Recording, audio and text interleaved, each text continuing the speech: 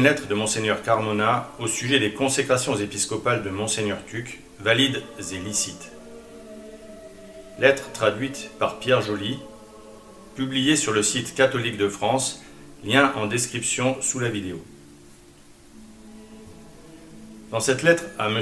Alvaro Ramirez Arandigoyen, du 18 mai 1982, Monseigneur Moïse Carmona Rivera explique pourquoi les consécrations épiscopales réalisées par l'archevêque Tuc étaient à la fois valides et licites, notamment en raison de la vacance du siège pontifical et de l'apostasie de la quasi-totalité de l'épiscopat déjà à cette époque. Cher ami, en réponse à votre lettre, je dois vous dire la chose suivante. Il est clair que dans des circonstances normales, aucun évêque ne pourrait légalement consacrer un autre évêque sans la permission du pape. Mais à l'heure actuelle, nous vivons dans des circonstances qui ne sont pas du tout normales. Car elles constituent un cas des plus inhabituels pour lequel rien n'a été clairement légiféré. Trois choses caractérisent notre situation actuelle. Premièrement, depuis la mort de Pie XII, nous n'avons eu que des imposteurs, ce qui signifie que depuis plus de 20 ans, le Saint-Siège est vacant. Deuxièmement, presque tout l'épiscopat s'est lancé dans une nouvelle religion et a donc apostasié de la vraie foi, renonçant à l'Église éternelle. Troisièmement, la véritable soif des fidèles de la parole de Dieu qui ne leur est plus prêchée et leur demande de l'administration des sacrements catholiques. Au début, nous avons placé nos espoirs sur Monseigneur Lefebvre, dans lequel nous avons vu un véritable évêque catholique, un défenseur de la vraie foi, avec qui la succession apostolique légitime se poursuivrait. Mais nous avons été trompés. Monseigneur Lefebvre n'a pas été épargné. Nous nous sommes sentis trahis, en le voyant faire des affaires avec le Vatican, d'où sont venus tous les coups portés à la véritable Église. Bien que les hommes échouent, Dieu ne peut pas échouer, et il ne peut pas abandonner son Église. C'est pour cette raison que providentiellement, le très illustre et humble archevêque de Hue, au Vietnam, avec ses vaillantes déclarations, a présenté à tous les hommes l'état désastreux dans lequel l'Église se trouvait aux yeux de Dieu. Il a déclaré la vacance du Saint-Siège et l'invalidité de la nouvelle messe en s'engageant, comme un archevêque catholique, à faire tout ce qu'il pouvait pour l'Église. L'épiscopat m'a été offert. J'ai dû y réfléchir beaucoup avant de pouvoir me décider. Finalement, je l'ai accepté pour la seule raison d'aider au sauvetage et au triomphe de l'Église. Le 17 octobre, le père Zamora et moi avons été consacrés par l'archevêque Tuc dans une véritable catacombe, avec seulement deux médecins distingués comme témoins. Nous étions tous les deux conscients des tempêtes furieuses de protestation qui allaient venir. Mais les paroles de notre divin maître nous ont encouragés. En vérité, en vérité, je vous le dis, vous gémirez et vous pleurerez. Mais le monde se réjouira. Vous serez triste, mais votre tristesse se changera en joie. Jean chapitre 16, verset 20. À notre retour au Mexique, les attaques ont commencé. Certains ont dit, sans aucun fondement, que nos consécrations étaient invalides parce que nous étions consacrés dans le nouveau rite. D'autres, plus sérieux, ont déclaré que, sur la base des canons 953 et 2370, les consécrations étaient valables mais illicites et qu'en conséquence nous étions suspendus. Note de la rédaction. Certains ont affirmé faussement qu'il avait été consacré dans le nouveau rite afin de mettre en doute la validité de son épiscopat. Si monseigneur Carmora avait été consacré dans le nouveau rite, ces personnes seraient en effet fondées à remettre en cause son épiscopat. Mais ce ne fut pas le cas, et ce n'est donc pas ce que veut dire monseigneur Carmora. Il est en effet avéré que monseigneur Tuc a utilisé le rite traditionnel de la consécration épiscopale, et non le nouveau rite, lorsqu'il a consacré monseigneur Carmora. Nous avons les témoignages du docteur Eberhard Heller et de monseigneur Zamora, tous deux présents lors de la consécration, attestant que c'est bien l'ancien rite qu'a utilisé monseigneur Tuc. Comme on peut le voir, nos détracteurs ignoraient l'axiome Quicum regula ambulat, tuto ambulat. Celui qui marche avec la règle marche en toute sécurité. Il devrait se souvenir s'ils avaient oublié que le pape Grégoire IX a laissé onze règles, et Boniface VIII 98 pour la véritable interprétation de la loi. Ces règles, selon le canon 20, peuvent fournir le défaut de la règle dans un cas particulier, comme dans le cas où nous nous trouvons actuellement. La quatrième règle de Grégoire IX stipule expressément Propter necessitatem illicitum efficetur licitum. La nécessité rend licite ce qui est illicite. Or, on voit validement la nécessité d'avoir des évêques et des prêtres catholiques et le manque de vrais sacrements. Dès lors, nous avons été consacrés valablement et licitement. La règle 88 de Boniface VIII stipule également que Certum es quod est commis dans legem, qui legem verbum complectens, contra legis nititur. Il est certain que l'on pêche contre la règle si l'on adhère à la lettre en laissant de côté l'esprit.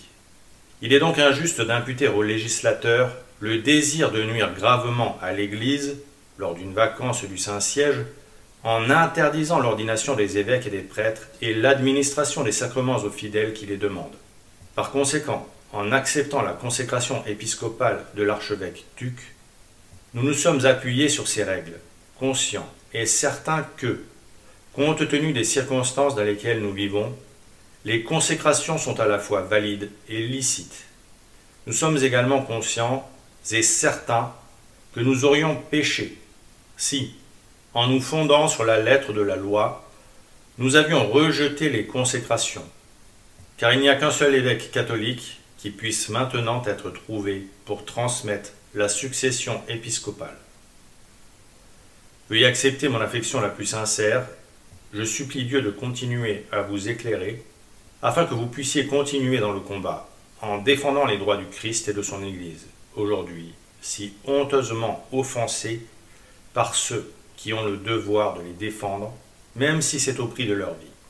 Cordialement, Moïse Carmona. 18 mai 1982.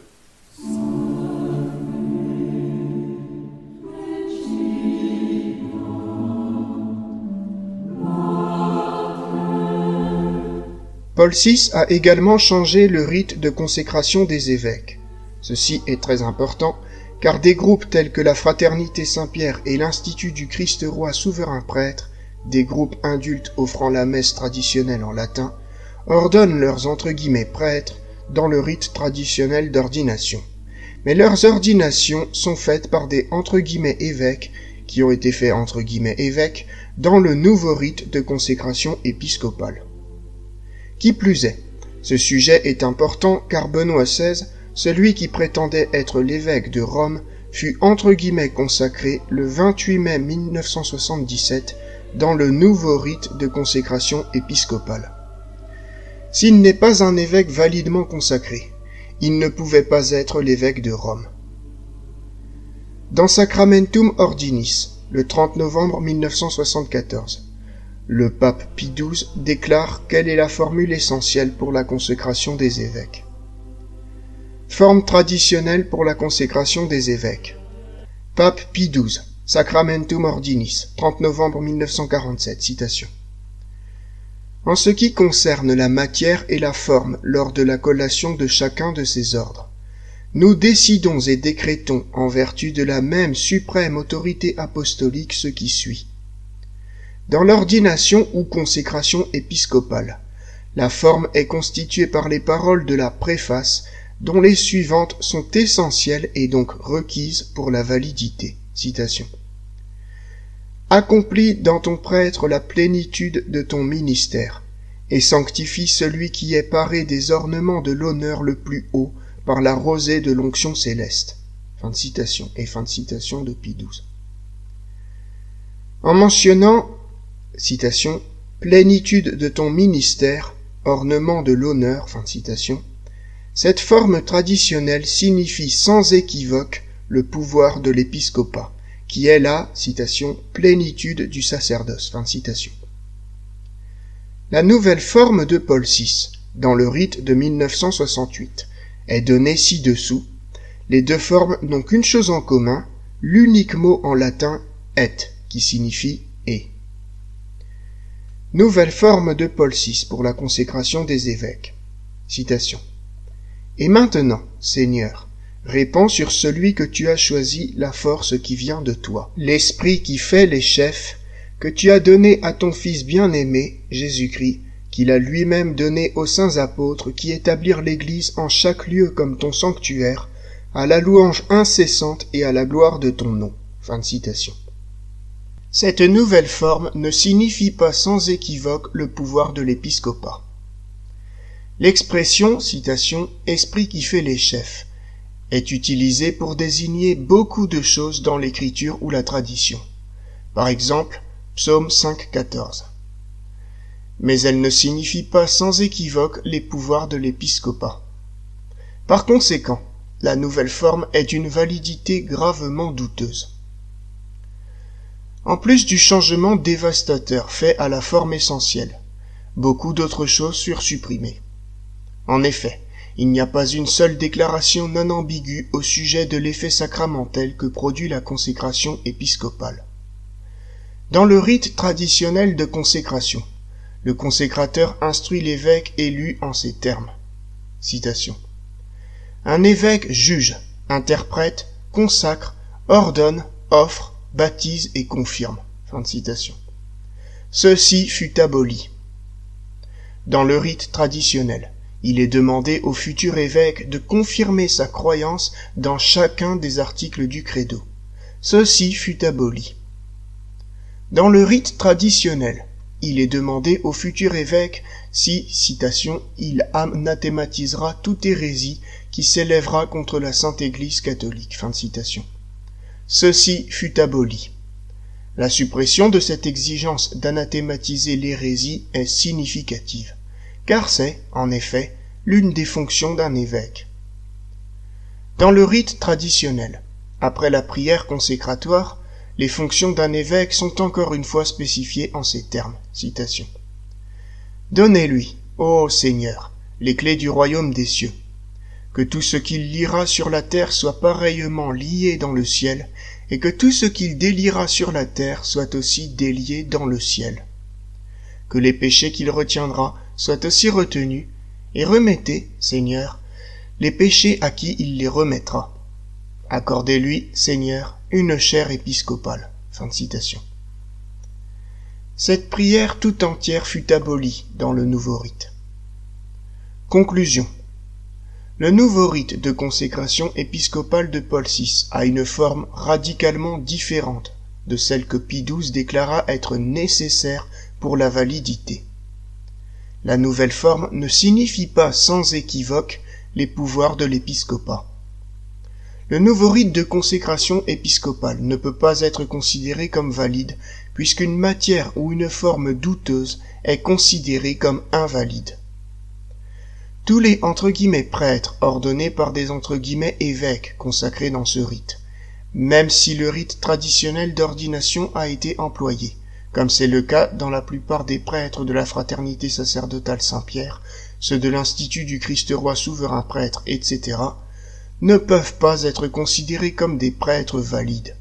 Il ne faut pas vous rendre à leur entre guillemets messe.